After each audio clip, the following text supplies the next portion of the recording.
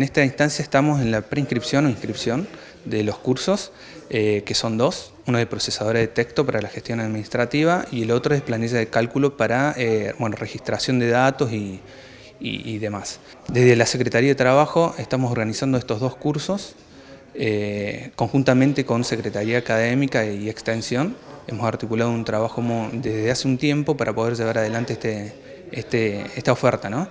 la idea es sistematizar estos cursos ir dándole profundidad en distintos niveles y los contenidos que se van a estar dando, eh, y en ambos cursos, en turno mañana y en turno tarde, para poder llegar a todos los no docentes que así lo requieran.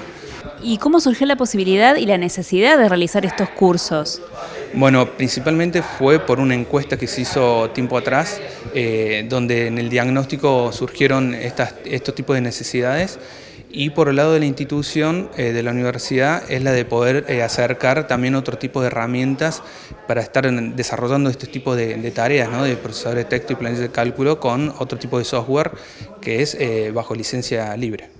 Es un proyecto de alfabetización digital más amplio. Sí, sí, sí, sí. La idea es ir profundizando en estos temas y poder llegar a todos los no docentes que así lo requieran. ¿Y estos cursos se van a dictar en horario de trabajo?